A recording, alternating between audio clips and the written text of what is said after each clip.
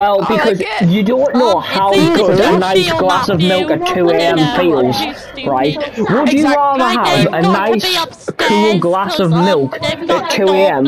or have a son who wakes you up every night at 2 a.m. Daddy, I pissed the bed again.